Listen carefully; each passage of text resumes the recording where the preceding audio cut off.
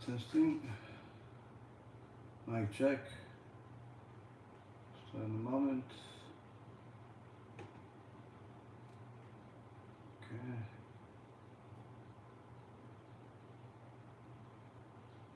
Lucky Baruch Mesh. Sounds good in the app. Good. Uh, YouTube's good. Baruch Razuli. School Mitzvot.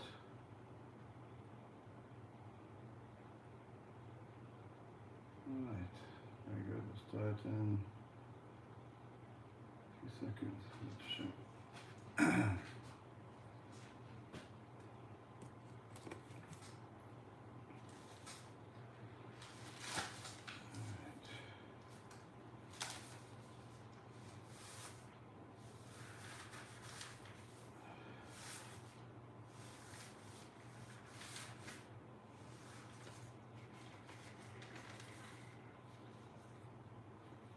Alright.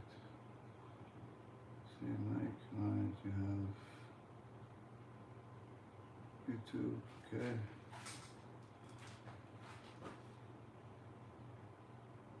It's an English shiur, not a not Hebrew.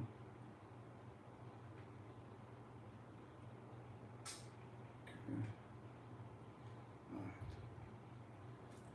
בשם השם נעשה ונצליח, שיעור תורה, ברוכים הבאים. We're back on our new week, Sunday night shiur, but uh, unlike the uh, weekly shiur Torah that we have uh, as part of the series of the Jewish Hashkafa, tonight we'll have a, uh special shiur that uh, I thought is very appropriate for the times, uh, especially after seeing what impact a little bit of this shiur had on some people when we spoke about it last week in regards to. Um, the many topics we discussed in it was a part of the shiur, and uh, in fact, it made such a big impact in some people's lives that uh, it seems very appropriate to uh, elaborate further on it.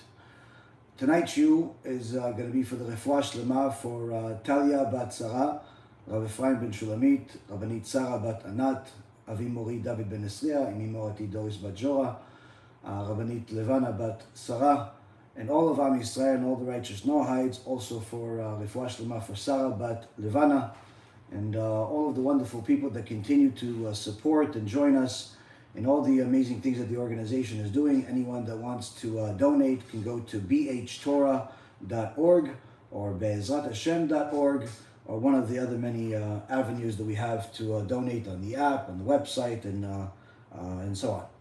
So, uh, as I was uh, saying, the uh, shiur tonight is uh, not a typical shiur, uh, where uh, you know typically we're talking about hashkafa, and really, even though I, you know, Baruch Hashem, we could have easily snuck this topic into the uh, series, you know, because after all, it is part of hashkafa. I thought that it's more appropriate to simply have one shiur about this that's going to really elaborate on the topic, uh, where uh, everyone, including the atheists, the non believers, the scorners, and uh, those that uh, still consider themselves religious, uh, knows the uh, very famous verse of how God created us in His image. As the Torah says in Sefer Bereshit, the book of Genesis, in the first chapter, so God created man in his image. In the image of God, he created him. Male and female, he created them. This is a very famous uh, verse. Everyone knows it. Everyone has heard it at least once or twice.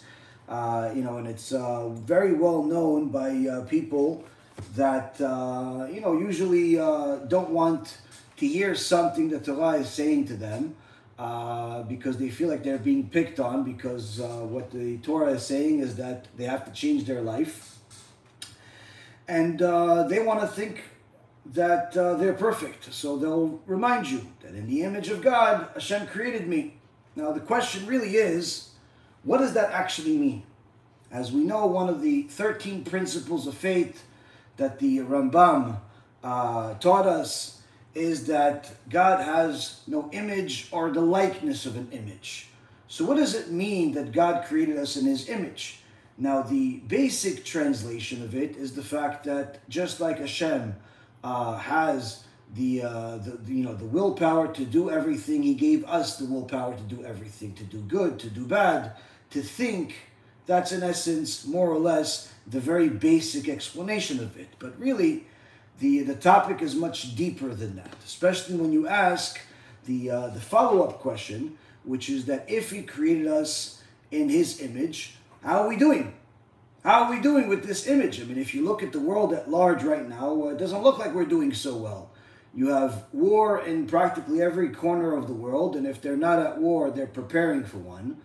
Terrorism uh, is uh, simply a standard in different parts of the world, especially in Eretz Israel. Every day, I get different messages from people on the uh, on the field, uh, literally with pictures and videos of different terror attacks that are not reported on the media, on the news. Uh, you're literally seeing these terrorists just going into uh, different busy neighborhoods in Eretz Israel and just shooting people, stabbing people. 99.9% of all of it is never reported in uh, the uh, Western media.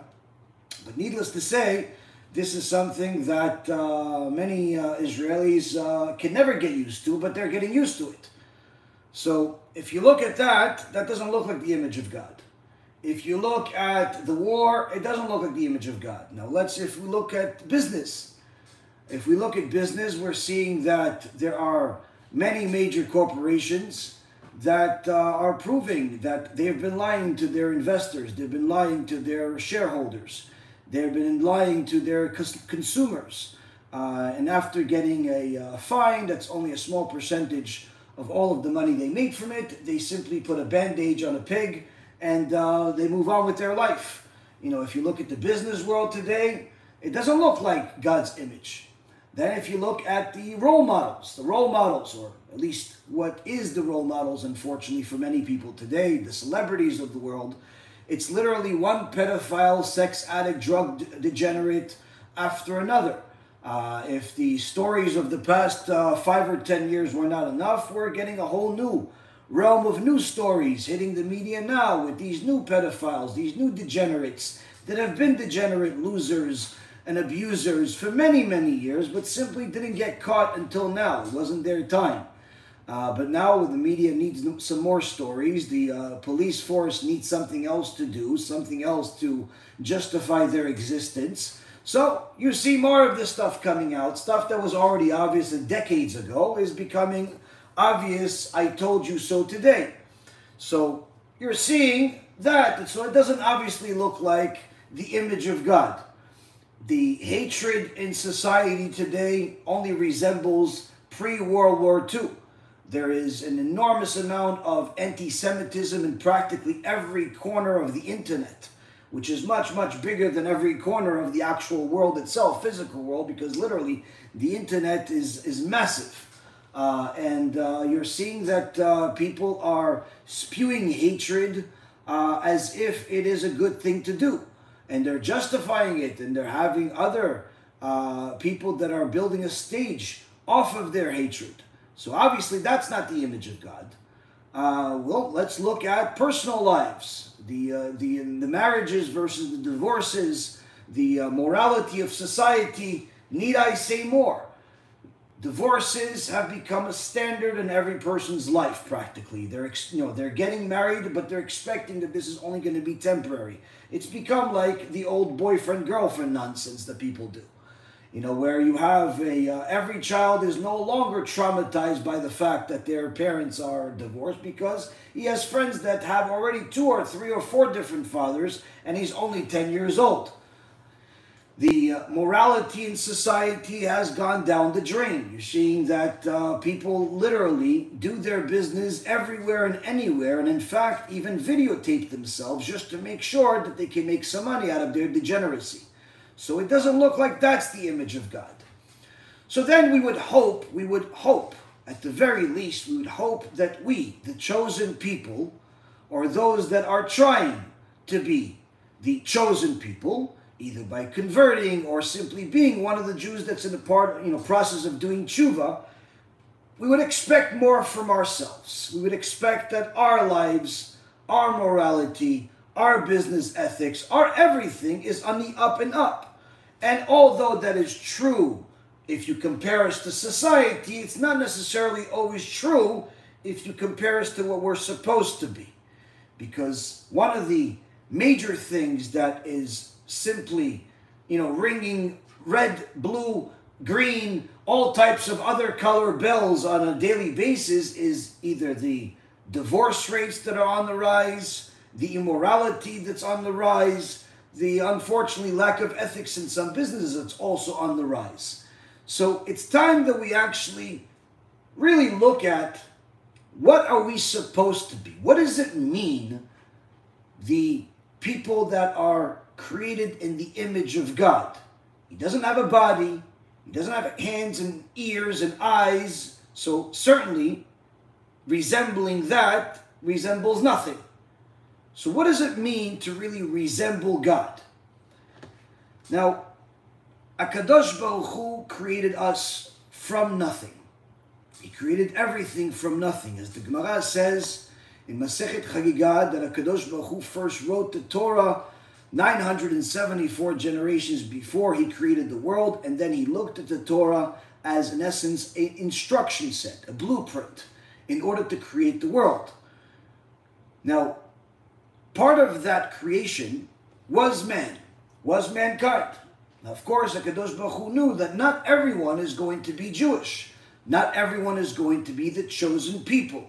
But needless to say, everyone is his creation. Everyone is supposed to be his servants. Some serve in one place, others in serving in another place. But nonetheless, we're all supposed to be serving. But at the same token, the original creation was the same across the board, meaning we were all given originally the same exact tools. Tools that we could still use today if we choose to. And the Torah says in several places that HaKadosh Baruch Hu created man yashar, straight, honest, perfect.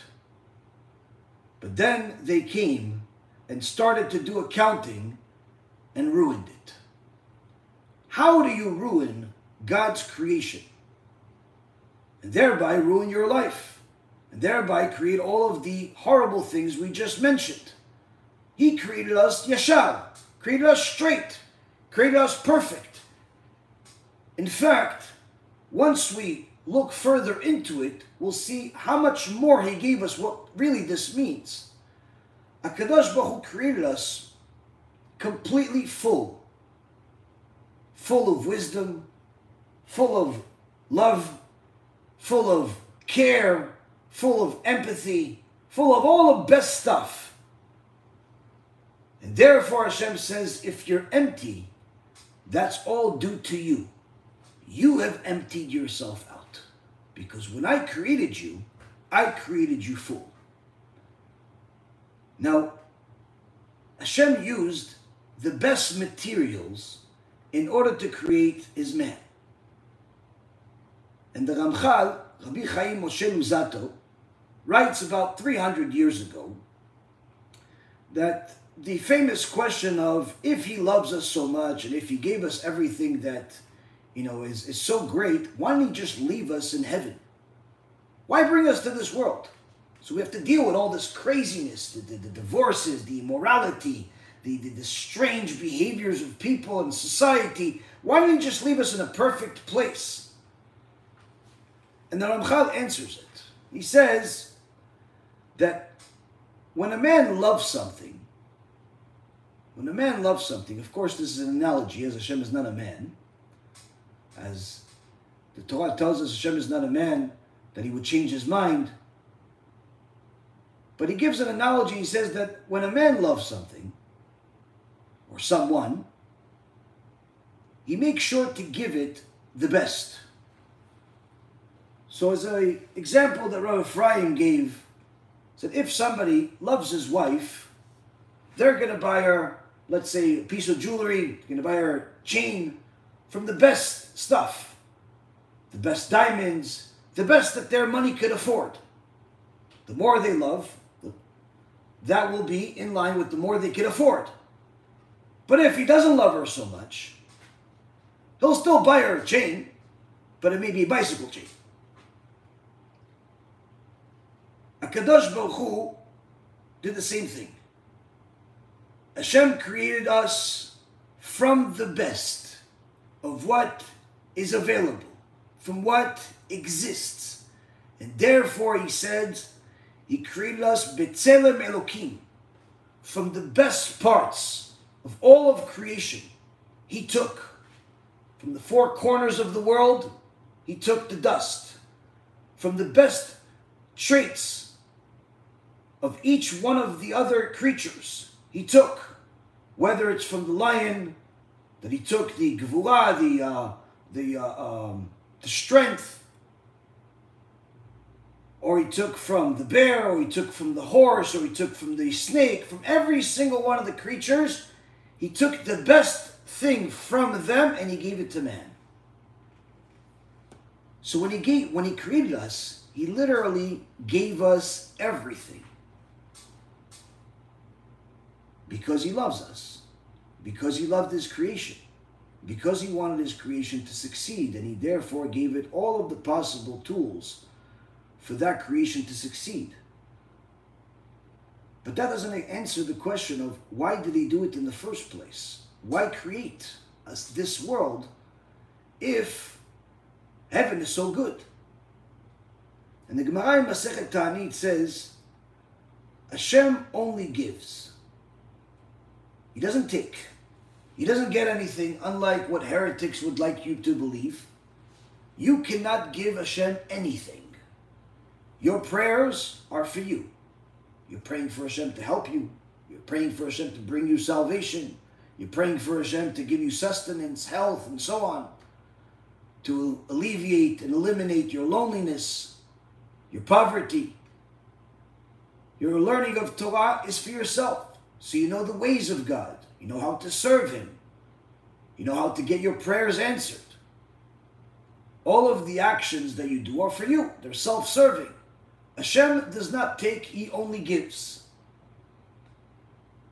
In fact, he gives so much that he even gives to the heretics, those very same people that scorn at the thought of God, that make fun of it, that despise it.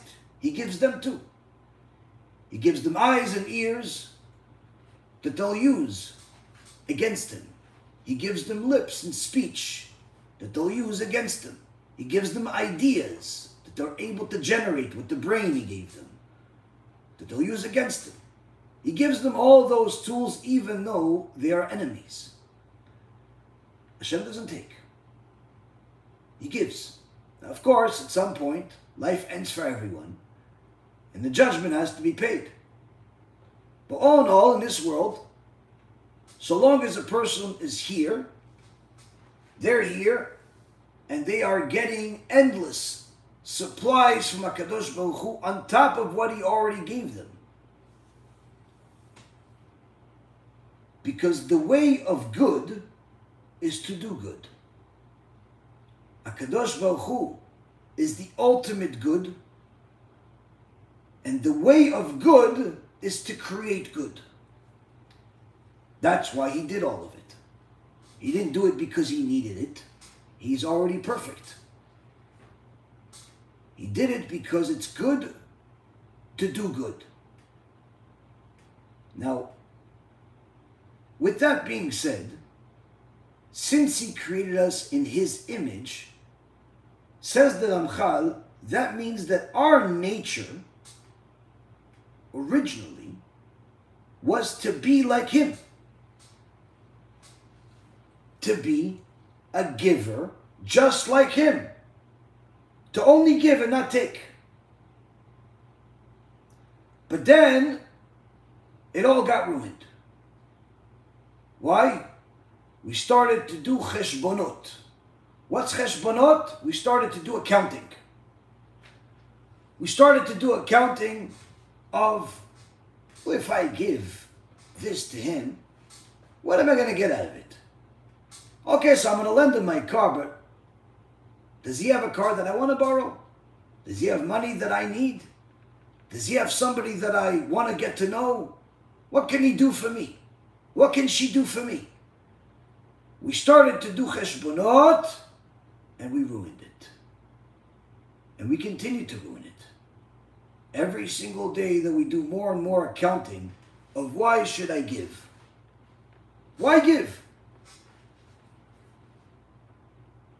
In fact, Rabotai, the more a person starts to do accounting of why to give, the more they not only ruin their connection to the image of God, but the more they become like something else, something that perhaps may surprise you, but nonetheless, not for long.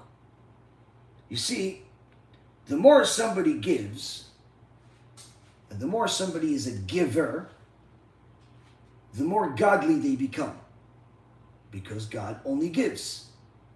On the other hand, to ruin a godly power requires an enormous amount of strength. I mean, just think about it. God created us as givers. He gave us His tzelem, His image. So therefore, to ruin this is something that's not just like, oh, I don't feel like doing it. It has to be much more than that. It has to be much more than a feeling. It has to be much more than an idea. Now, Chazal teach us that this spiritual power that overcomes this tzelem Elokim by permission of God only is not just any power, but something that is in the root of all of the different abilities that HaKadosh Baruch Hu instilled into this world. Chazal tell us that kishuf, kishuf is like witchcraft. Kishuf is like the using the supernatural uh, for evil. It's in order to influence the heavenly powers, the decisions of the heavenly powers, towards the evil side, towards the negative side. And HaKadosh Baruch Hu allowed this to happen also in order for it to be a place of free choice where people can choose good or bad. As the Torah says, that you chose life. What does it mean you chose life? You chose God. God who's the one that creates chaim, creates life. But when you don't choose chaim, when you don't choose God, you choose something else.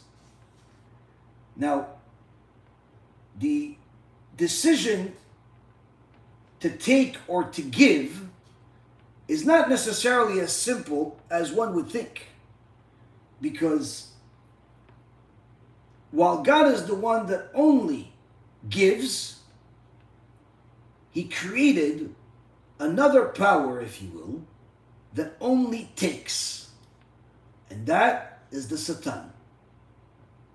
The Satan is the one that only takes.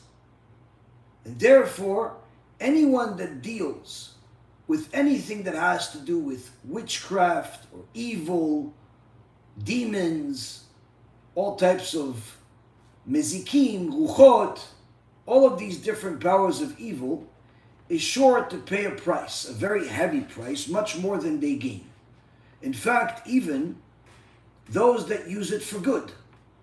For example, like tzaddikim, the Kabbalist Rabbi Yehuda who used to have to deal with the evil when he would try to help people and rescue them from being a prisoner of some dibuk, where a spirit of someone evil that died entered a person and took control over the body in order for him to be able to convince that evil soul, that evil spirit, to get out of this person, he would have to, in essence, deal with them. You'd have to communicate with them. You would have to convince them. You would have to even give them spiritual beatings, literally, by using holy names of HaKadosh Baruch Hu. But nonetheless, he had to deal with evil, even though it was for the sake of good, even though it was from the good side. He wasn't using witchcraft like some of these people use today, where they use all types of uh, cards and Ouija boards and incense and all types of other uh, uh, witchcraft tools. He was using the power that literally is learned through an endless amount of effort and sacrifice from the Torah in order to help people remove these mazikim, remove these dibukim from taking control of their life any further. And some of these people would come to them, uh, come to him after being a prisoner in, in this situation for years. And after even going to all types of uh, witchcraft sorcerers and people that had abilities but were not able to uh, take these things out, and Ibo Hashem succeeded time and time again. Now, there's a whole sefer that's written about it, Ruchot Mesaprot, where it's in essence like a journal of the different conversations and experiences that he had with these uh, uh, these different uh, dibukim. One of them is with the uh, infamous Shabtai Tzvi, Shem Reshaim Yirkav, that was one of the famous false messiahs from a few hundred years ago, caused uh, literally endless damage, almost as much as what, as what Yoshke did, but not quite. Uh, but nonetheless, Rabbi Yehuda did all of this for the sake of Am Yisrael, for the sake of helping people, but nonetheless, he still dealt with the world of Kishuf, the world of the evil, and he ended up losing two of his sons. Two of his sons died. The price that they paid for is very, very dear. This is also the reason why many people are simply not able to do what Rabbi Yehuda did. It's not just because of the knowledge and the ultimate sacrifice of your own personal life, but it's literally also things that are very dear to you can sometimes be lost in the process. So here we see that the decision to take or to give is not just a decision to be good or not good, but rather a decision to either be godly or to be like the Satan because that's what the Satan does. The Satan only takes people that deal with witchcraft ultimately lose a whole lot more than what they gained. But in the process, they give. They give their blood, literally, seed, all types of different acts, sacrifices. They give an endless supply of things they don't really think are as important as what they're getting, only to find out later on they have imprisoned themselves for eternity as a result of it. Because coming out of it is virtually impossible unless it's death. Very few end up coming out of it and live. As the Gemara says, that people that deal with these things, typically when they try to get out, they die. Now, the Satan knows that the one thing that HaKadosh Baruch Hu gave us to defeat him is the Torah. But in order to emulate HaKadosh Baruch Hu in the highest level and to be like Hashem, to be like God, we have to become givers. Givers to no end. And this, Rabotai, is a tool that destroys the Satan in a lot of different ways. And therefore, the Satan created a tool that has fooled society for some time and continues to. In today's Hebrew language, they call it freier. What's freier? In, uh, in English, you would call it like a sucker a fool, someone that everyone takes advantage of. They're just taking his stuff. Why? Because sometimes a person wants to give and he doesn't want to do the accounting. He wants to do something nice for his wife. But he doesn't want to do the accounting. Oh, what am I going to do? Is she going to do this for me? She did that for me. Oh, but last time, no, he says, you know what? Let me just get her something nice just because it's nice to get her something nice. Let me just do something good just because it's good to do good. Let me do something good for him just because it's good to do good. But then the Satan comes and says, I understand you want to do good because it's good to do good, but uh, when did you become a sucker? When did you become a freier? That uh, people could just take, take, take from you and, uh, that's it. Did you ever get anything? And if you got something, what did you really get? What? You bought a, a $10,000 uh, diamond, what'd you get? Dinner? You could buy dinner for 10 bucks. Is it really worth it? What'd you do? You worked. Every day you put overtime. Every day you worked for this company. You built them. You put this company on the map. What'd they give you? What they give you? A stock bonus? What they give you? $20,000, $100,000? They made billions. Ah, why should you continue working? Why should you continue doing so much for this company? And a person starts to think, wait a minute, why am I being a sucker? Why am I doing so much for everybody else and uh, they're not really doing anything for me that's uh, in the same level or at all. And that's when the Satan starts to win. But some people have a very, very strong connection to the image of God. Therefore, they're not really so concerned about being a freier, being a sucker. They're not afraid of that. No, no, listen. Yeah, I know that I worked really hard for this company. And perhaps they uh, maybe made a whole lot more, more, more than me. I know I did a whole lot more for my husband than he's been doing for me. I know I did a whole lot more for my kids than they did for me. I know I did a whole lot more than uh, my parents have done for me, and so on and so forth. But let me just do it Anyway, let me just help them out here. Let me give them a ride there. Let me contribute here, contribute there. Why? Because I want to be good. I want to be good. So Satan says, oh, this one's a tough cookie.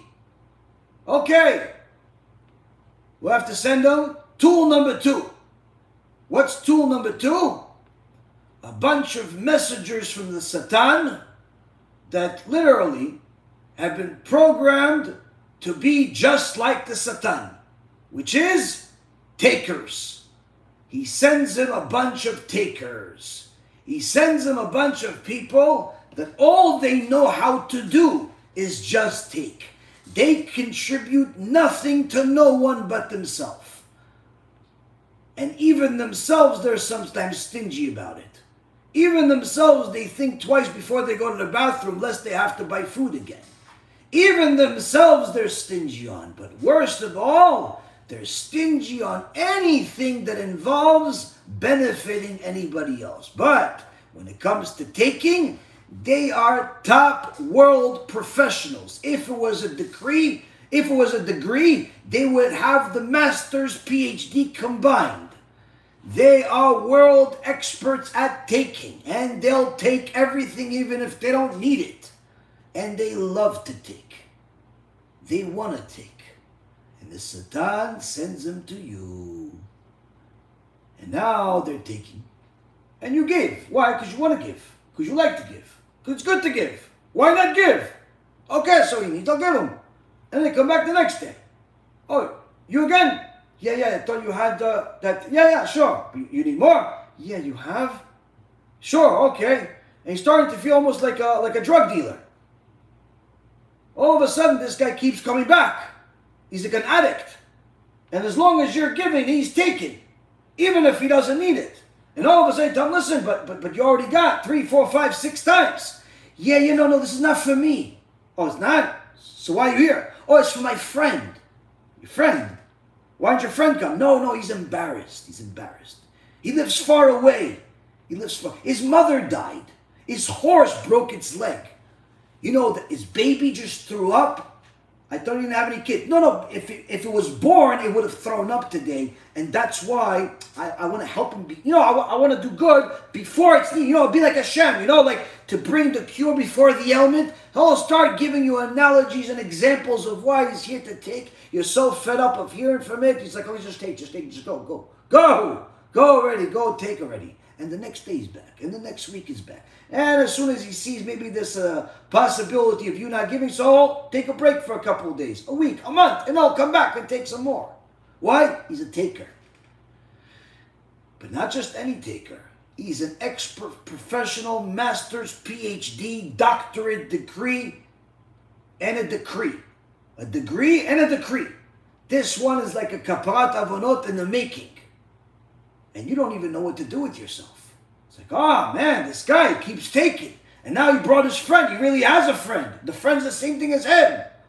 And they're just taking. And then there's another guy. Then there's another guy. He's like, whoa, come on. How much are they taking? What am I, flyer? Oh, all of a sudden, that word came into your vocabulary. All of a sudden, you're starting to think like the Satan has wanted you to think all the time. What? What am I, sucker? What am I? Why am I giving? Let them go and get it somewhere else. Why do I have to give it to them? And all of a sudden you're starting to do cheshbonot. You're starting to do accounting. Accounting. Why? HaKadosh Baruch Hu gave you the task of being like Him, the ability to be like Him, the image like His. The Satan doesn't like it. Why? Every time you give, you become more godly. Oh, we don't want you godly. We want you satanly. We want you to be a taker. So how do we convince you? We'll try to convince you with some words. We'll try to convince you with some speech. We'll try to convince you with somebody trying to influence you. Your wife, your husband, your friend. Why are you giving? Why? Why are you giving? That doesn't work. So we'll send you those messengers of the Satan that will start taking but not giving. And if you fail there, it's like you failed everywhere else. And this, Rabotai, is how a person can lose the steam that he had, the steam of giving, the power of giving like God, just in order to avoid being what's called a flyer, the, the, the sucker. Now it's gone to such a point, this whole perception has gone to such a point that in society today, people that do not like to give also don't like to see other people giving. In fact, they will always have something nasty to say when they see somebody else giving. Like, why is he giving lectures for free? What's the catch? Why is he giving books for free? What's the catch? Why is he giving food for free? What's the catch? Why is he giving money for free to the poor people? What's the catch? Oh, it's a cult. Oh, he really is not giving.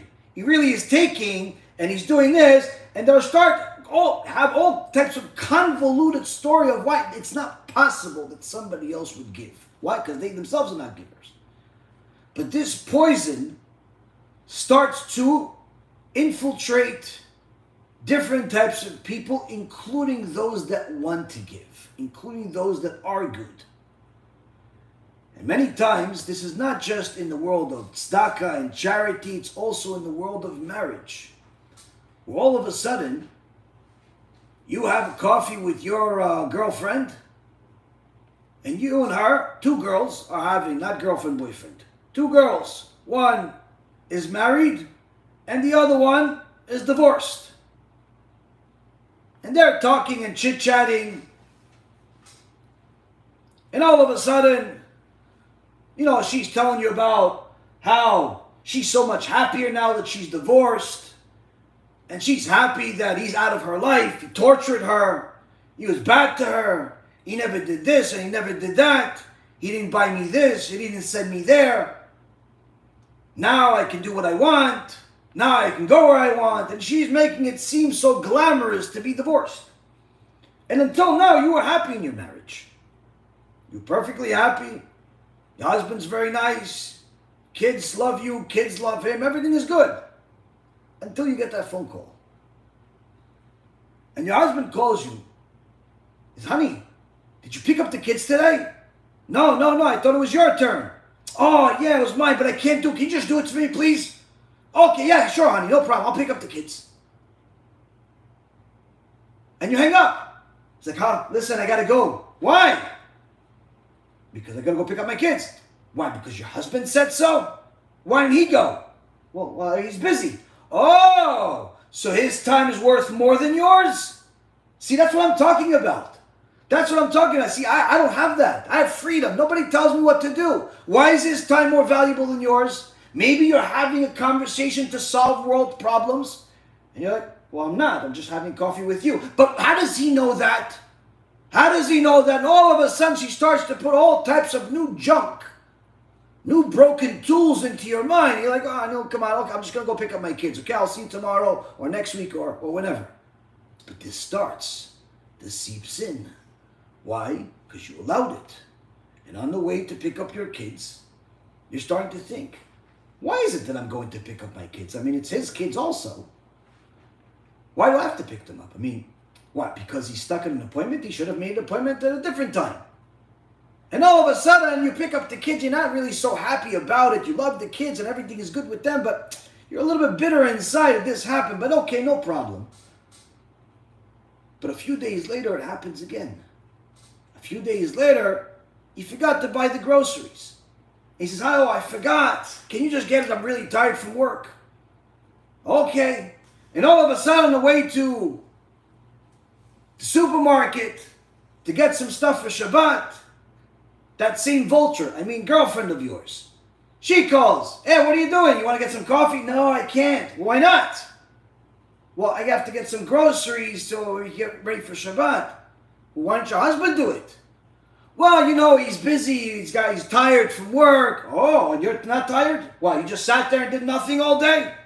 He's the only one that works? He's the only one that does things? No, come on, stop it with that again. No, no, everything is okay. I'll talk to you later. And you hang up, and in reality, the venom is in. And you start to think again, wait, why is it that I'm going? Why can't he just go? Even though he's tired, I mean, how much effort does it take to go to the supermarket and just get a couple of pieces of meat and some stuff? Like, why can't he go? And all of a sudden, you're letting this poison of what am I, a flyer? Am I sucker that I have to go and pick up the groceries? Am I sucker that I have to go pick up the kids? Am I sucker that I have to do this and I have to do that? And all of a sudden, you're starting to resemble the Satan. You're starting to resemble the Satan. If not in your actions, then at least in your mind. Why? Because you don't want to be a giver. You're tired of being a giver. Why? Being a giver makes you look like a sucker, according to your friend. According to Torah, it makes you look godly. But according to your friend, sucker. According to society, sucker. According to everyone's divorced, sucker. Happily married, godly. But you're not asking them for advice. You're not asking the godly people for advice. You're asking all of the divorcees. You're asking all of the miseries. You're asking all of the stingy,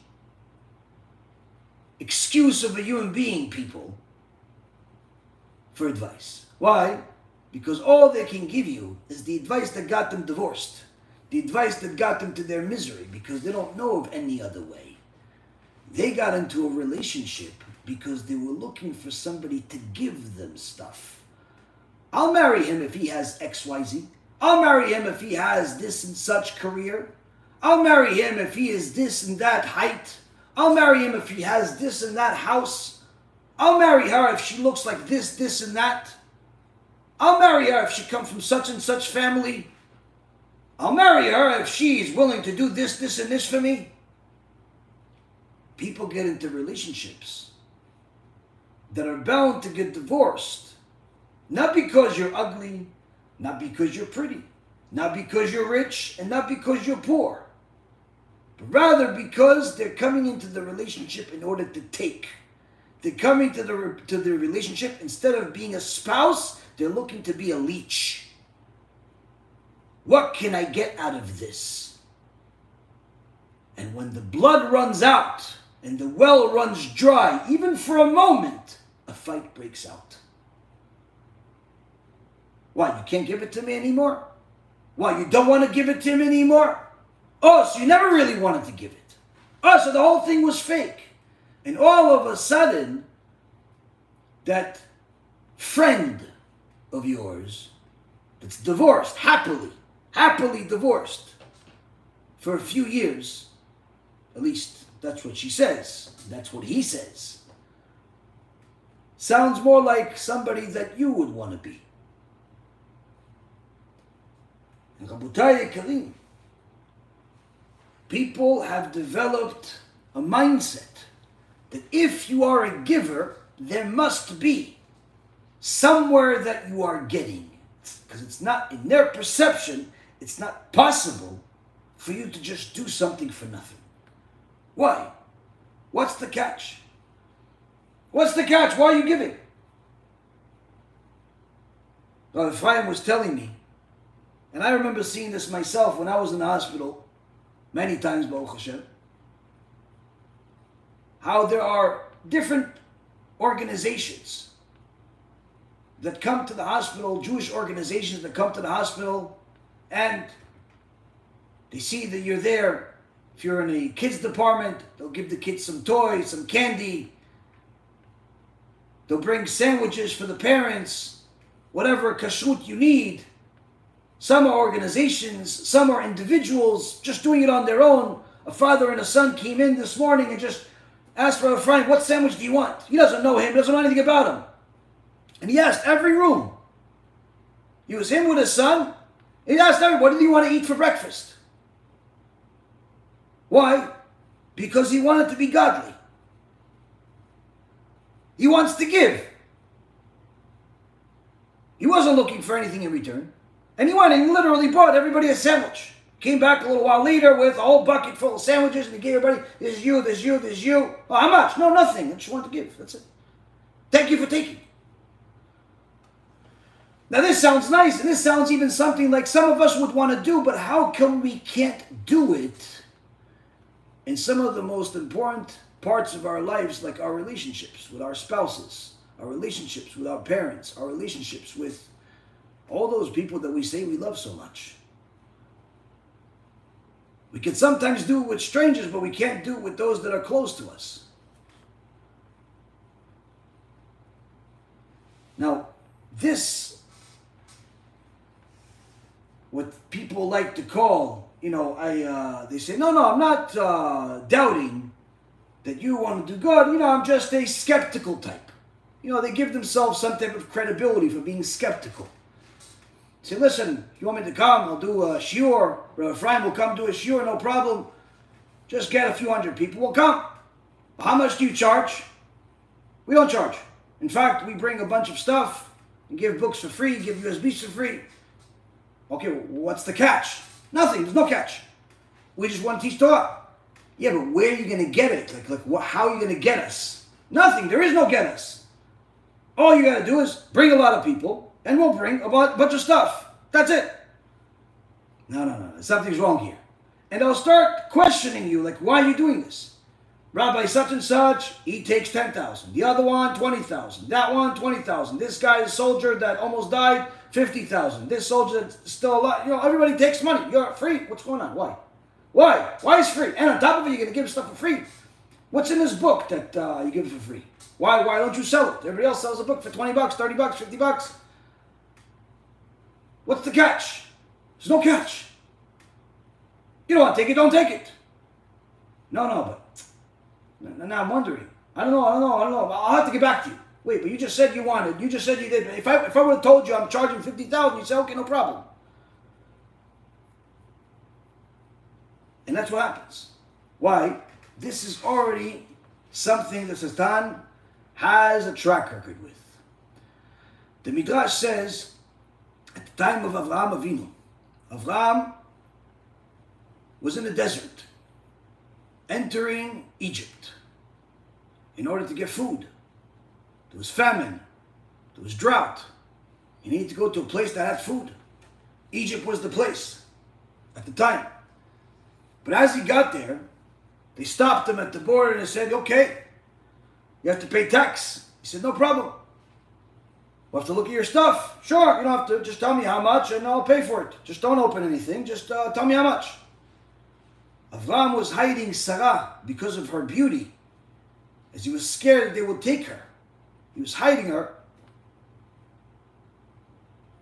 from the Egyptians. And the Egyptians said, Well, listen, uh, we'll have to evaluate this box over here like uh, it's full of uh, very uh, high priced fabric.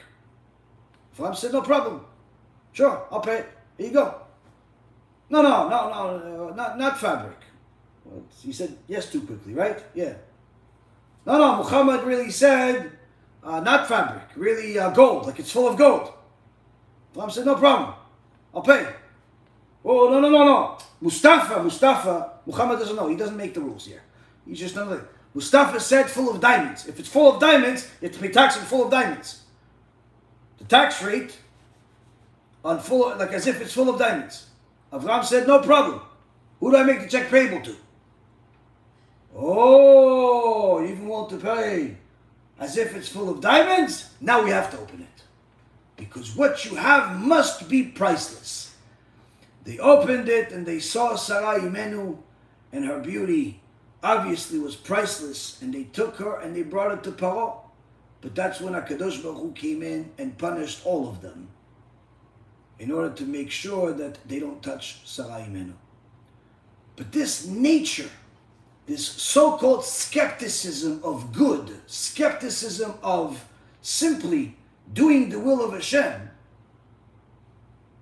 is very much in the nature of people.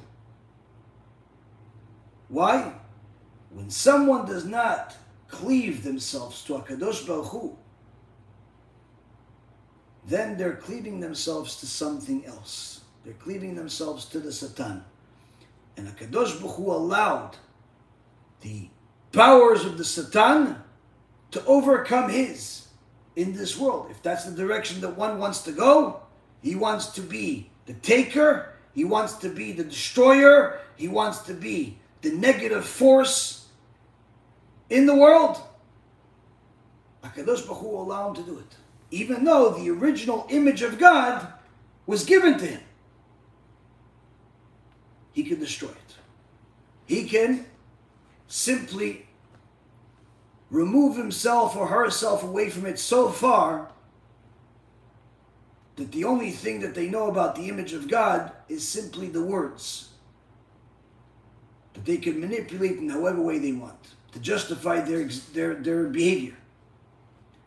Now, when somebody really questions good, if somebody's questioning somebody that's questionable, meaning somebody has done a lot of evil, somebody was a missionary, convincing Jews to go to Christianity. And all of a sudden, he says, No, no, now I want the Jews to come and I'll teach them Torah. And you want to question that person, you have to. Why? Because he did a lot of bad. If someone was uh, Adolf Hitler and now all of a sudden he wants to feed the poor, obviously you can't believe such a person. Why? He can't just turn around from being the ultimate evil into being the ultimate good. He said, what about teshuva? What about repenting? Yes, repenting is a process. It doesn't mean that just because he says today he's good, we're just going to all jump in like he split the ocean for us. It's a process. But needless to say, there are some chachamim that say that if somebody did certain things that are really evil, such as missionizing and things like that, there are some chachamim that say, can't accept them ever. Now, of course, the halacha is not like that. You can't accept them if they've done teshuva.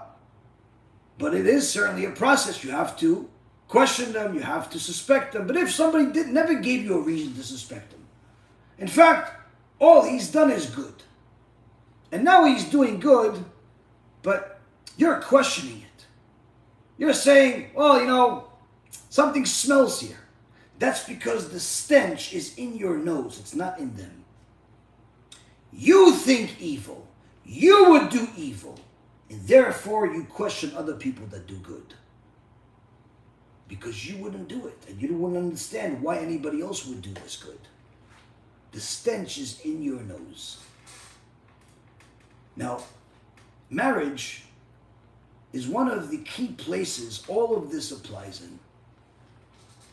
Because when people are takers, and all they want is to take, then they put themselves in a position where they are working against the clock of when either this relationship will be over or the stepping stones to it that usually happen, which is that the relationship deteriorates slowly but surely until it's over. Usually it's the latter, usually it's the steps. So in the beginning, if you're the taker and they're also the taker, and both, if you're taking from each other, I'll do this if he does this. I'll buy him this if he buys me this. Oh, I'm not going to buy him a birthday present. He didn't buy me a birthday present. I'm not going to do this if he's not going to do this. And you're both in it to win it. You're thinking that you're playing Monopoly here. What ends up happening is, at some point, one of the takers decides that the deal is not worth it for him. Why? Because the last time he did something for you and you didn't give him back some the same thing, you figured, well, I gave her a diamond bracelet. All she gave me was a beautiful night, dinner, but I can go out and get dinner myself with a couple of friends tonight instead of uh, spending $5,000, $10,000 on a bracelet. And he decides to go with his friends.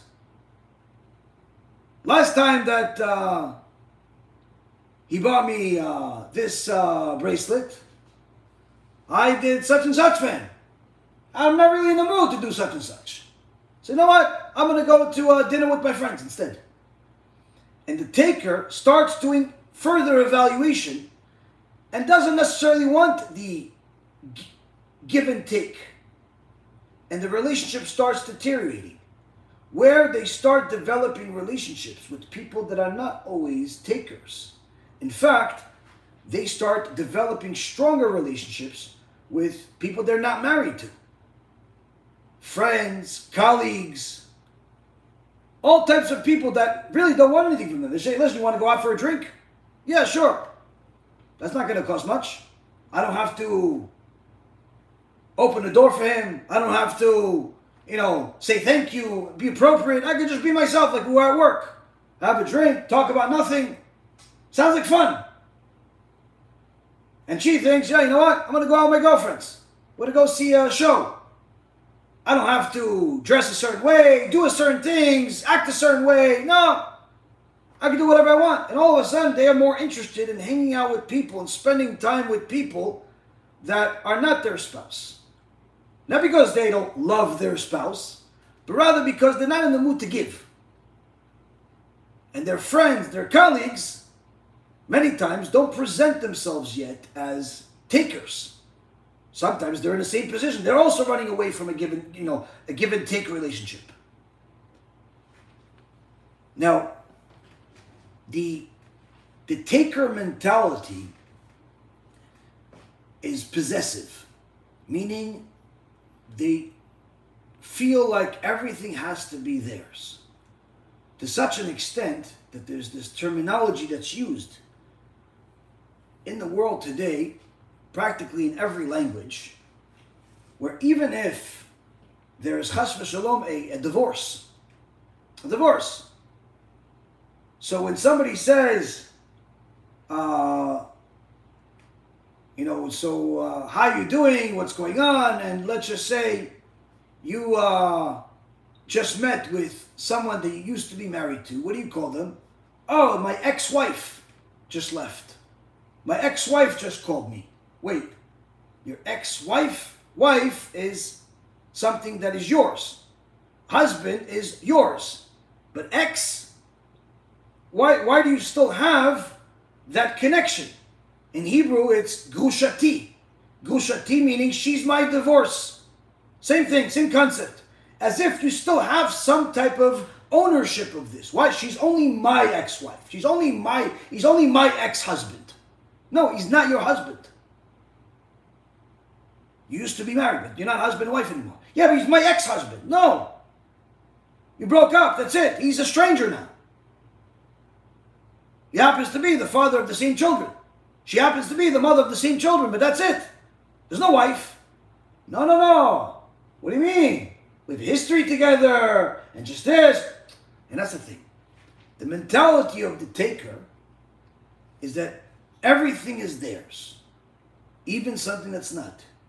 If they put their hands on it at some point, if they owned it at some point, if they sell something, they'll tell somebody, yeah, you know what? That piece of uh, property over there, yeah, yeah, I, uh, I built it. Is it yours? No. So, so why are you mentioning it? No, no, I'm just telling you. It's nice, right? Yeah, I, I did it. It's a constant mention of like to get credits. Of I own, and I did, and my this, and my that.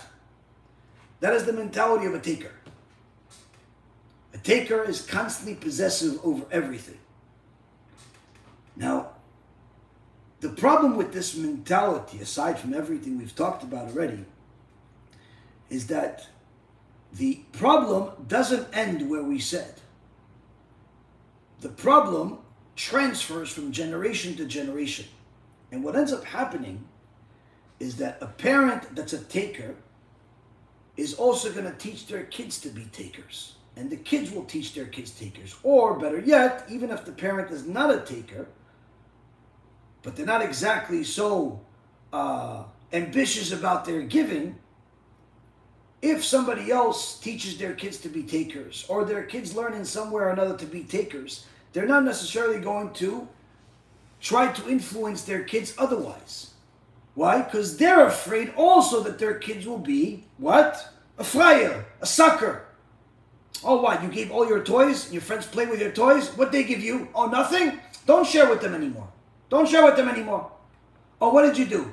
You are nice to them? You gave everybody candy? And what, they were mean to you? Okay, so don't talk to them anymore. What about the mitzvah from the Torah, one of the 613 mitzvot?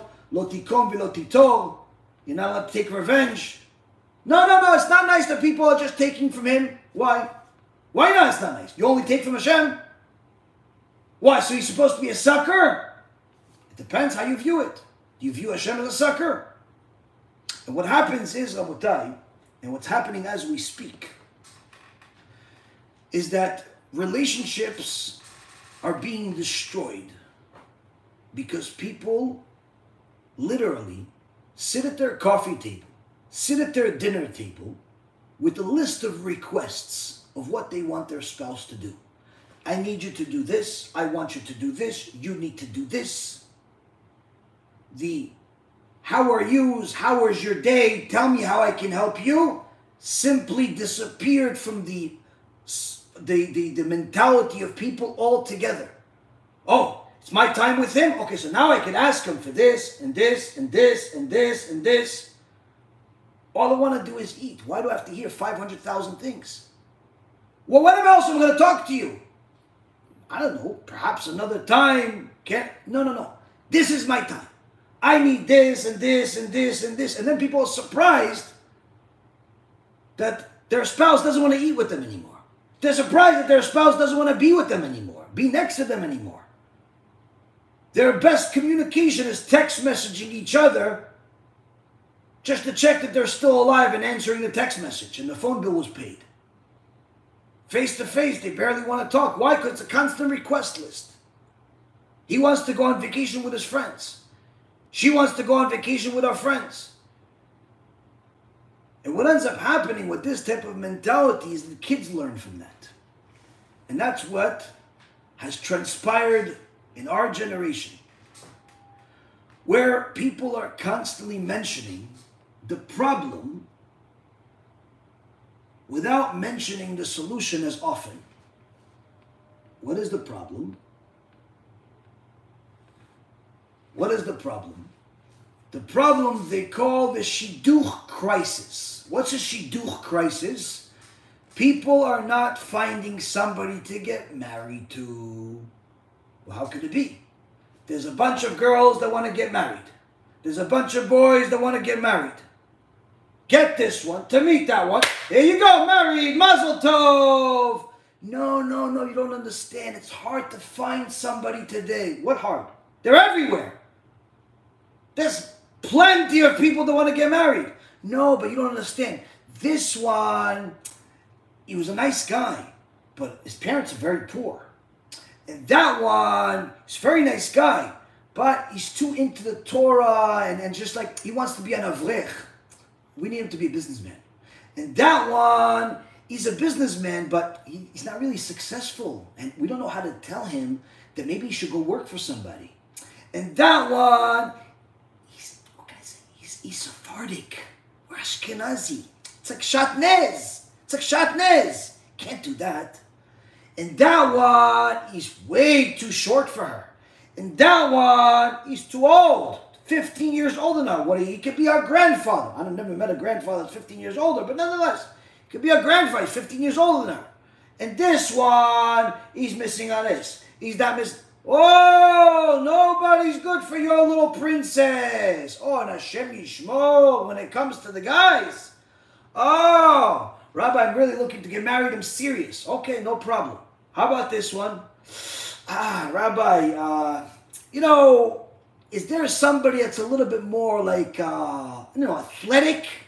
Huh? What do you mean? No, somebody that's like a little bit more athletic. What do you want it to be? A football player, a baseball player, or a hockey player? What do you mean?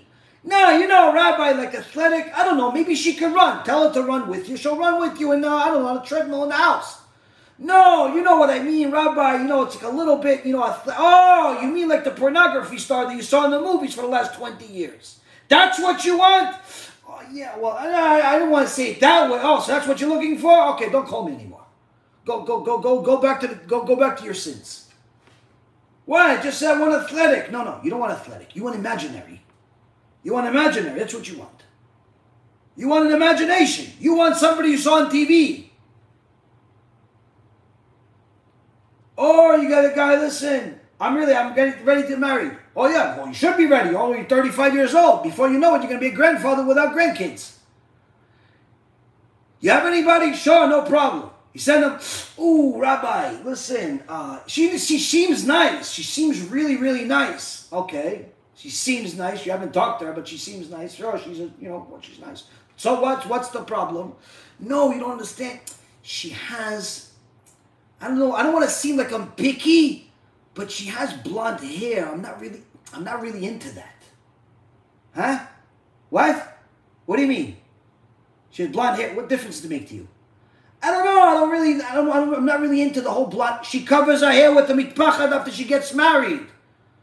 Yeah, but you know, you know, I'm like, I'm like, you know, like, I'm, you know, I'm like Sephardi and like, you know, like we're like darker and we like that. You know, I don't want to have like little, little, you know, Swedish kids. You know, what's Swedish? What are you talking about?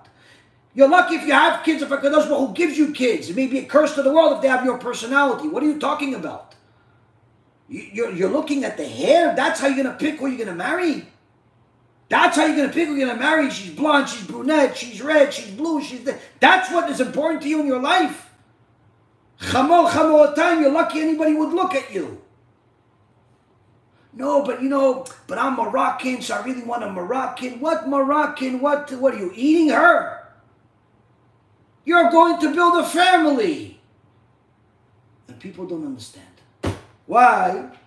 Because either he doesn't have enough money, or she doesn't have enough money, or they don't live in the neighborhood that they want to live, or doesn't have the right job, or they don't have this, or they don't have that. And people are literally looking for some white horse.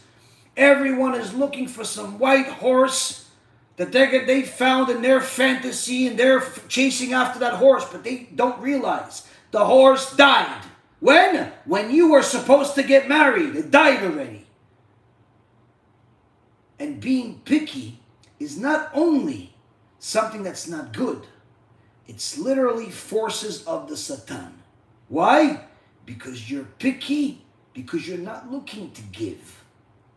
You're looking for someone that can give to you.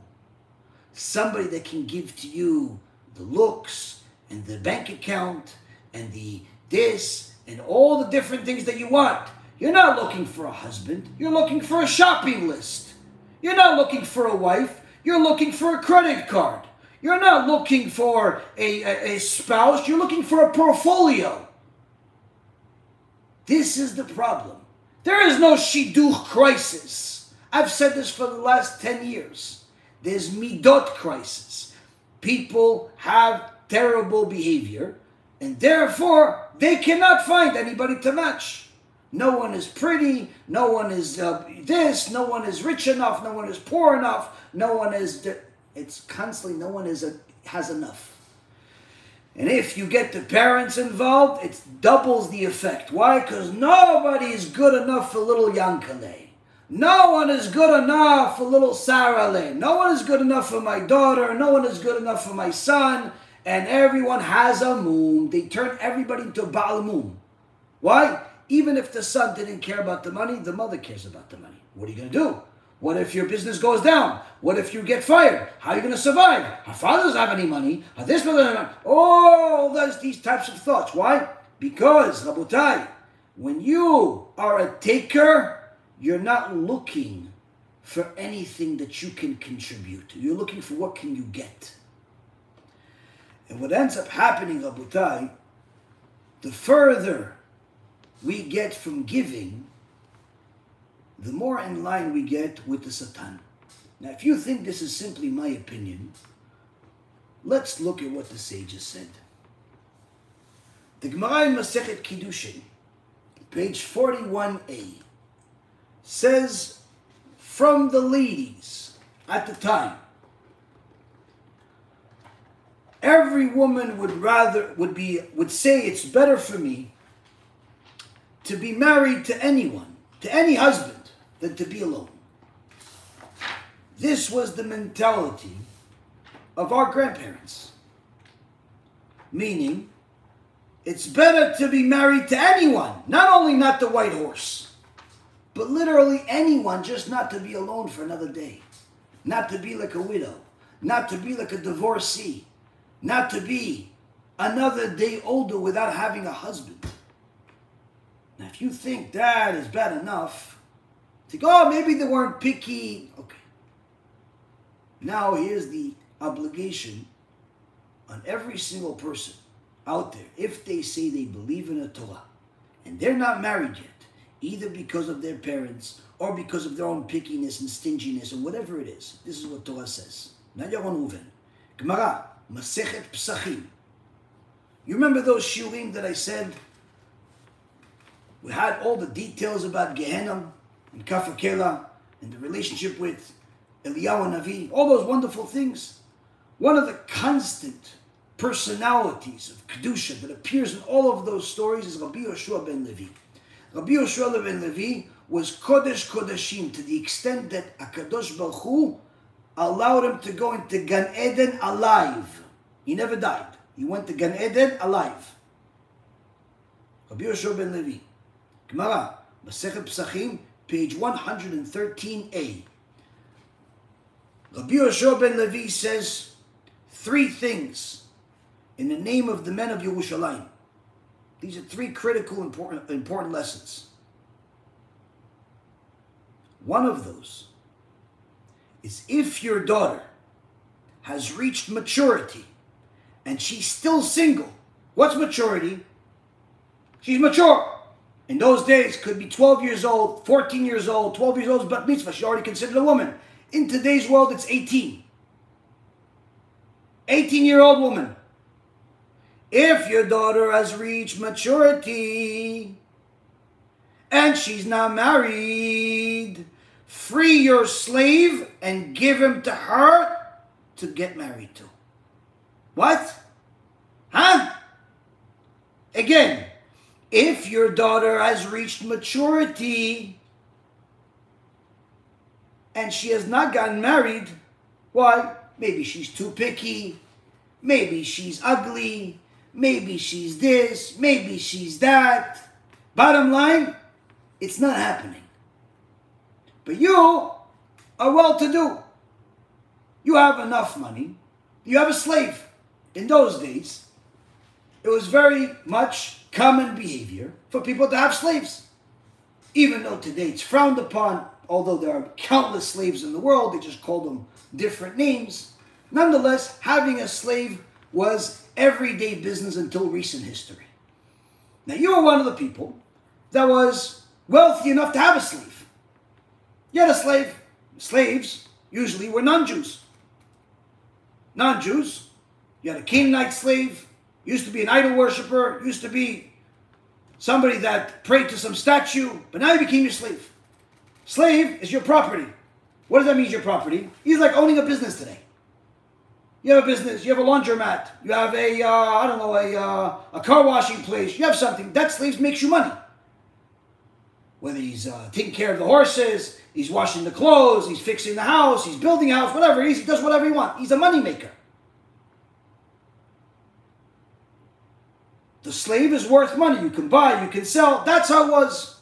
And for all of those people that are you know, I'm against slaves. Okay, then stop using blue collar workers. Stop going to buy, have people make you lunch, make you food, make you everything. And by the way, you can't even get clothes anymore. Why? Because it's all done by people that call them that, in essence, are the equivalent of slaves. To spare me the the uh, the uh, political correctness of I'm against slaves nonsense. Of course, slaves does not mean what they did to the African Americans, where they abused them, tortured them, killed them, raped them, and so on. That's not what slavery is according to the Torah. If you uh, if, if a uh, if a Jewish master uh, takes uh, takes uh, let's say hurts his slave, let's say the slave loses the eye, he has to free him. Not allowed to just beat them senseless, kill them, anything. If he kills them, it's a death penalty. Can't just uh, do whatever you want, like what the Americans did, and many other people did. Talking about slave according to the Torah. The slave, in essence, does what the master tells him to do. He tells him to go build a uh, another uh, shack, he builds a shack. Take care of the horses, takes care of the horses. Whatever it is that he does, he has to do it. This slave is a asset. Now, you have one. Right? You have one. Would you want your daughter to marry him? Probably not. Why? He doesn't have any money. He doesn't come from a good family. What's his job prospects? Until now, he was a slave. So it doesn't look like he has some bright future ahead. But according to the Torah, the situation of having a daughter that's already at maturity and is not married is much worse than all of your opinions about slaves. Why? Your slave, he's single, he's capable, free him. Part of the freeing of the slave is that he converts to Judaism. Because while he's a slave, he keeps the mitzvot, but like a woman. He doesn't have to put on tefillin, he doesn't have to do all the things that men do, but he has to keep the mitzvot. He can't continue being an idol worshiper. Now, this slave has been with you for five, six, seven, ten years, whatever it is. He knows already what it's like to be Jewish, but now he's going to be free, meaning he's going to be just like you. He's going to be a complete Jew completely free. Doesn't have to do anything you tell him anymore. Why? He now becomes your son in law. Make the slave your son in law. Why? Because for you to have a daughter that's roaming around 25 years old and not married is so awful in the eyes of HaKadosh Baruch Hu that literally you have to do something about it as soon as possible. Now, what happens is, Rabotai Karim, is that people don't have this perception. If you tell a woman, listen, young lady, you're already 23, you're already 28, you're already 36, you're already 40. There's no time for you to be picky. There's no time for you to be picky if he doesn't have enough, he doesn't want enough, he doesn't go enough, he doesn't this enough. There's no time for you to be picky. Why? According to the Torah, if your father had a slave, you would have had to free him just so you can marry the guy. That's how bad it is for you to be alone. But why is this the case? Why is it better for the woman to go marry a slave that now becomes a full blown Jew, no different than her? Full rights, full everything. In fact, you're now going now that he converts, you have to love him more than you even love a natural born Jew because he's a convert. This slave, former slave, gets a really great deal. He goes from slavery to being a complete Jew, complete freedom. He's going to get some money from the father in law now. Why, after all, he's married to his daughter. This guy just won the lotto. Another perfect example of how different slavery is in the eyes of the Torah versus the eyes of people. And what they did to people, what the Jews did. And I'm talking about Torah observant Jews, not just anyone that calls themselves a Jew just because their mother's Jewish. In the eyes of the Torah, this slave gets a fantastic deal. He's now able to marry his boss's daughter. He may even end up inheriting his former owner's entire business because now he's the son in law. Why? It's that horrible to have a daughter that's not married and now is already at maturity. Lest she become promiscuous, lest she become a person that thinks that she has permission to get married whenever she feels like it, when she's established her career, when she's made enough money, when he, all of these mentalities all come from the Satan. Why the Satan? Because you're thinking with the Satan mindset of, I need to have this and that amount of money in order to get married to her or in order to get to marry to him because I need to have enough for them to take from me. I need enough for me to be able to justify to take from them. You see, it's a taker mentality. You say, yeah, but if I want to have a lot, that means I want to give. No, no, you don't want to give. You want to make yourself suitable for someone to take from you. You want to have enough money, so therefore, in your perverted vision, you will be suitable to take from. You'll have enough money that someone would want to marry you. You'd have enough possessions that someone would want to take you. And this is the problem. Rabbi Yoshua ben Levi, when you go deeper into the Gemara, explains to us when you are a giver and not a taker, it doesn't matter that he was a former slave. Why? Because right now, they can both give to each other instead of take from each other. We don't care that he doesn't have any money. We'll give him money so he can establish his life. We'll give her money so she can establish her life. The point is, is that you don't need all of these things that society has told you you need in order to get married, in order to be happily married. Many times people ask the question of, you know, can I use birth control because I don't know if I can afford another kid? That's never a consideration. There's no such thing as not having kids because you don't think you could afford them. If you're unhealthy, you just gave birth in the last year, even the last two years, and you're still not recovered from it, okay, that's certainly a consideration, and you don't have to reproduce right this second. You could wait up to two years. But if your only reason of why you're not going to try to become pregnant and have children is because of money, you have the wrong mentality. You have the wrong mentality. You have a mentality of a taker, not a giver. And this, Rabotai, is one of the things that is literally destroying our communities. People are looking at relationships the wrong way. They're looking at relationships as what can I get from him? What can I get from her? if you look at Am history, and I'm not talking about Am history from the time of Moshe Rabbeinu. I'm not talking about the time of Am Yisrael at the time of, uh, you know, Rabbi Yoshua ben Levi, 2,000 years ago.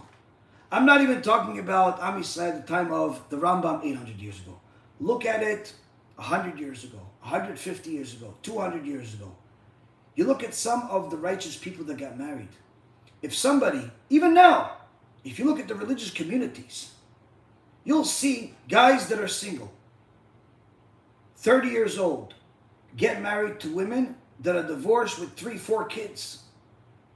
He doesn't have any kids, but he'll marry a woman that has kids. Why? We'll have more kids together. Yeah, but what about she has three kids with somebody else? So what? I can help her with those kids. No, but it's not your kids. Yeah, but it's Hashem's kids. It's Hashem's kids.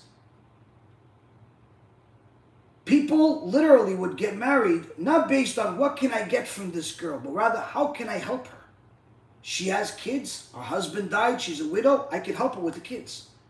He has kids, his wife died, I can help him with the kids.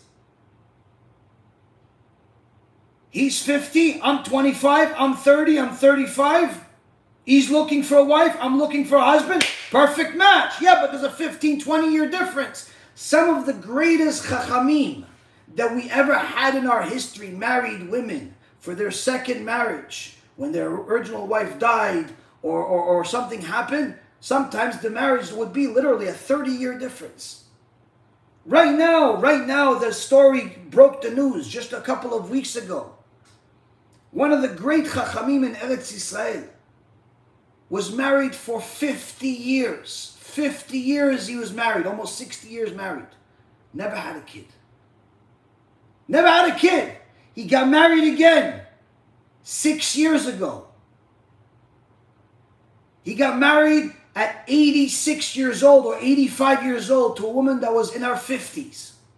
30 plus year difference. And guess what? HaKadosh Baruch Hu blessed them with a child.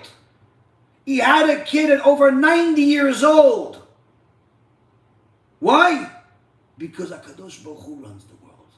And the people that know this Chacham say that for over 65 years he prayed every single day for HaKadosh Baruch Hu to give him a son.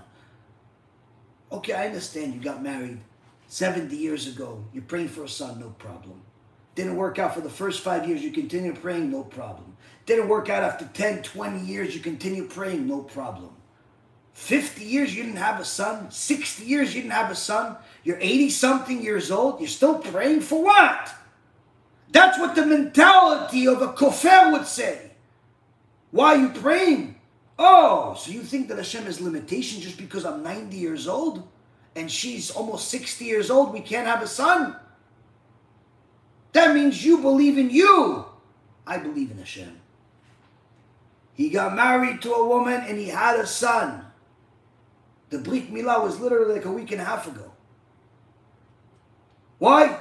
He wanted a wife. She wanted a husband. I can help him. She can help me. Yalla, let's get married. Mazel tov. And while we're at it, let's have a kid too. Have a kid. He's 90 years old. Yeah, why not? Why not? The only limited God is the God that's in your mind, not the God in Shamayim, not the God that's all over the world, not Ein Od Milvado. But Rabotai Karim, when you're going into a relationship, in order to take, you're never going to give HaKadosh Baruch Hu the chance to give you all he wants to give you. Why? Because you've decided what you want. You've decided what you want. And therefore, no one will ever be enough for you, even the one that you choose. No one will ever be enough for you. And that's one of the biggest, most horrific problems in our society today, both Jews and non Jews. But needless to say, more so on us Jews that are observant than anyone else because we're supposed to be better. We're supposed to know better. You see, Rabotai Karim, when Rabbi Yeshua ben Levi says, free your slave so you can marry your daughter, that means that Rabbi Yeshua ben Levi is telling you, don't be a taker, be a giver. You can give your daughter a husband. You can give this slave freedom. You can give them a life and an opportunity to build a family. Yeah, but I'm going to lose uh, one of my assets. He makes me a hundred thousand a year. So so, is it better to have an asset than a grandkid? Or two, or ten? And that's the mentality of what we're supposed to have. But if the mentality continues to be the way it is, the misery will continue to grow. Loneliness will continue to grow. No one will ever be good enough for your little salary. No one will ever be good enough for your Yankali. No one will ever be good enough for you, even if you choose them yourself. Because after you choose them and you realize that one day they didn't feel like giving you, and you were in the mood to take because you're a taker, and you thought that they're going to give you whatever you want, and they simply don't have it anymore or don't want to give it anymore. And guess what? They're no longer good enough. And in reality, they were never good enough for someone that's a taker. They certainly were good enough, and even more than enough, for someone that's a giver. If you're a giver, much easier to make a choice. Much easier. Why? Because you can give everyone. What about the notion of being a freier, a sucker? That means you're like God. That means that you are giving endlessly, just like God gives endlessly. And this, Rabotai, is a mentality that we have to somehow convince ourselves to absorb, convince ourselves to do. We have to find a way to give each and every single day. And I don't just mean money. Certainly, giving to help other people money when you have it, certainly it's an obligation, not a suggestion. In fact, Chazal tell us that if a person has an opportunity to give tzedakah and they don't, they're considered as similar to someone's an idol worshiper. Why? Why are they considered symbol of someone that's like an idol worshiper? Rabbi Yoshua ben Korcha says, just like those people turned their turned their heads away from Hashem and went, went to idol worship. In the Torah, one that turns away from giving to someone that they can give, that Hashem put in front of them, and they turn their way their head away, they're turning their head away from what Hashem gave them, opportunity Hashem gave them. They're considered literally equivalent to those that worship idols. Rav Nachman Bar Yitzhak says, the Holy One, blessed be He, sends His people who are deserving of charity so that the person can reap reward. He brings you opportunities to give tzedakah so you can get reward. You have extra money that you don't need to eat, to drink. Give tzedakah. Why? It's your opportunity. No, but I already gave last week. But this opportunity only arises this week. Yeah, but why do I have to give all the time? Don't you want to be like God? Yeah, but I was like God last week. Also, it's enough for you to be like God only one time? So you don't really believe in this. You believe in being God sometimes. Sometimes. But God says, Who did me a favor first I'll pay. Meaning there's no such thing as you doing anything for Hashem without a Kadosh Baruch Hu paying you. There's no such thing.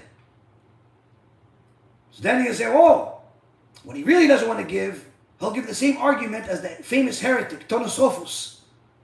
If God really loved these poor people, if God really loved this Torah organizations, if God really loved this thing that you're telling me to give to, why don't you just give it to them? Why do I have to give it to them? You're not giving it to them. Hashem is giving you a chance to give it to them. And if you really want the reason, says Rabbi Akiva, to Turnus Rufus, HaKadosh Baruch Hu makes certain people rich. Rich meaning they have more than what they need. Not necessarily rich like they have buildings and castles. They have more than what they need. And he also makes specific people poor. Why?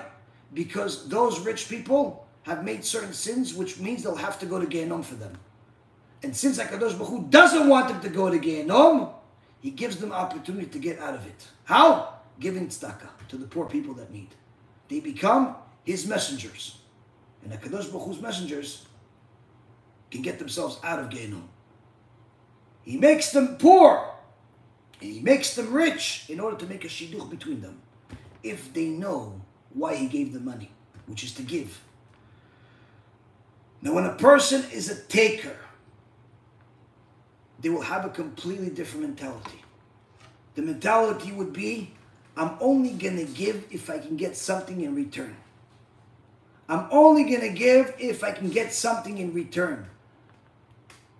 And that's not a good person to be married to, and certainly not a good person to be. And that's why Rabbi Yehoshua ben Levi gave us an extreme example that it's so bad to have a mentality of being picky on a shidduch and waiting for this white horse to appear, this, this, this perfect knight with perfect complexion and a perfect bank account and a perfect car and a perfect house and a perfect life. So they can give you all these perfect things that you want. That he says to you, it's better that you're married to a slave than to stay the way you are waiting for this white horse, waiting for this knight that you're waiting for. Why? Because you're waiting for something you really shouldn't. You're waiting for somebody to give you. It's time for you to realize you are the one that's supposed to give. Yeah, what about him? Focus on you. If you give, your spouse will reciprocate. Why? That's the shidduch that HaKadosh Baruch Hu gives you. The Gemara in Masechet Sotah in the first daf says, every person gets somebody just like themselves. That means if you are a giver, HaKadosh Baruch Hu will give you a giver. If you're a taker, HaKadosh Baruch Hu will give you a taker. Because that's the shidduch. That's what you made for yourself. Now, when a person looks at things from that perspective, they realize that staying alone is not only not favored in the eyes of Hashem, not favored in the eyes of the Torah, but rather it's saying that you are not where you're supposed to be mentally. Even if you put on tefillin, even if you learn Torah, even if you do mitzvot.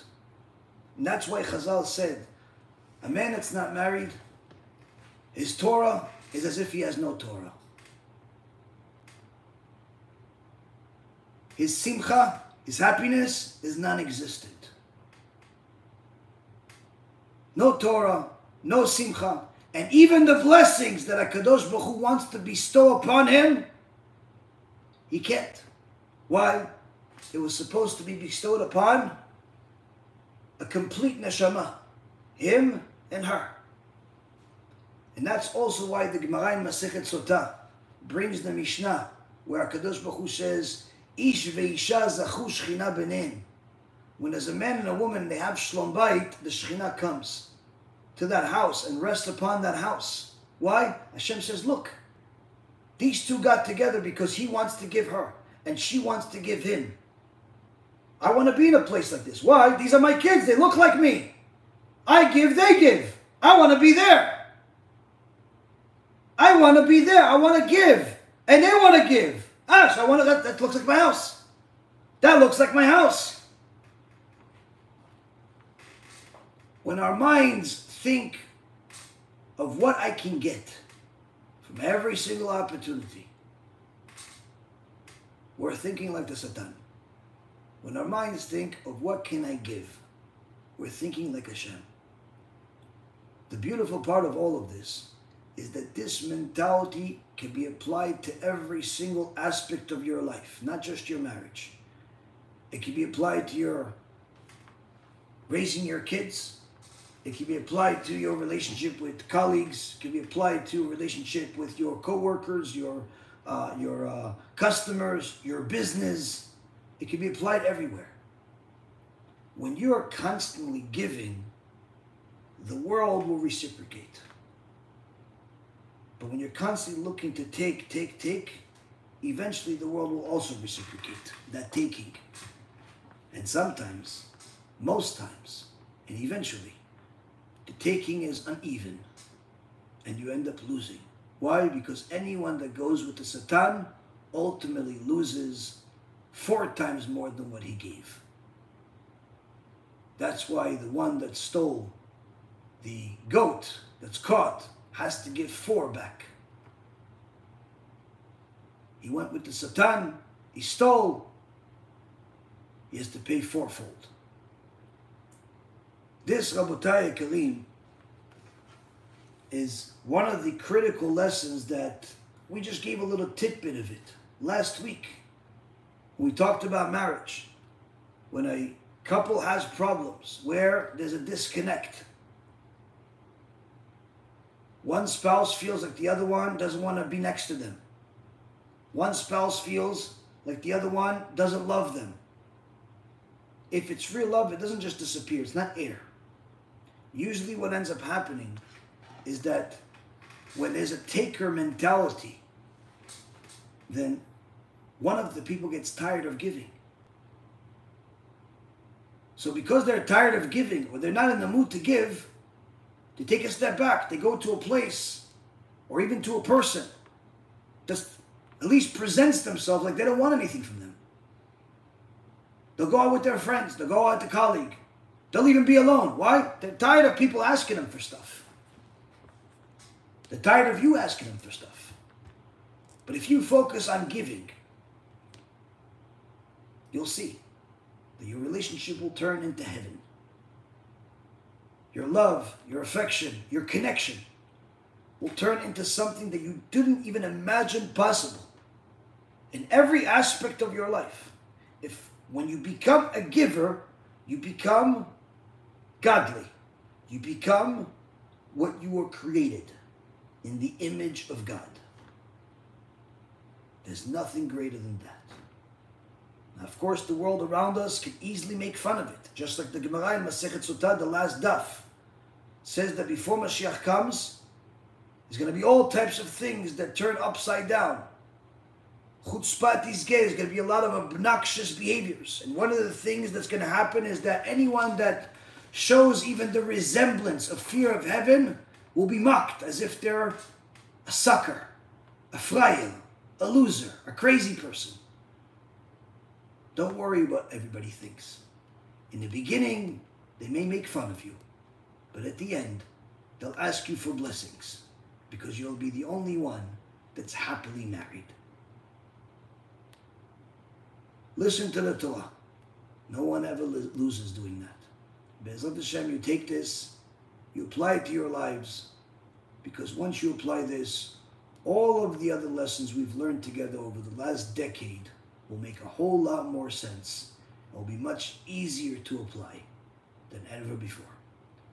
Kol Tuv, for anyone that wants to support our organization, all the wonderful things that our organization gives to the world for free, whether it's the USBs or the books or the lectures or the food or the money, all the wonderful things. You want to be a partner with us, go to be'ezrathashem.org or bhtorah.org or any of the other wonderful ways that we have that HaKadosh Baruch allowed us to be able to be a vessel for you to give so we can give. Call to B'cha We'll see each other Be'ezrat Hashem next week, as there's no other shiur later this week. We have uh, some uh, family events this week that we have to take care of, Be'ezrat Hashem. But I promise, Be'ezrat Hashem, we will learn even more later next week. Call to B'cha